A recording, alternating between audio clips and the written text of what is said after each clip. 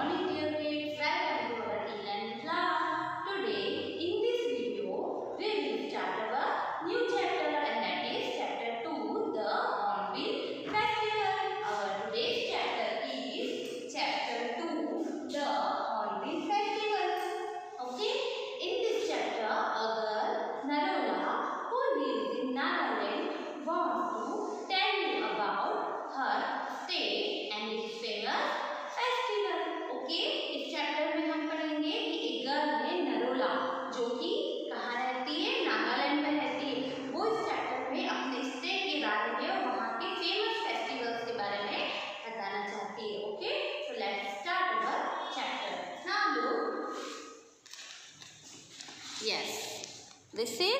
Narola, who lives in Nagaland.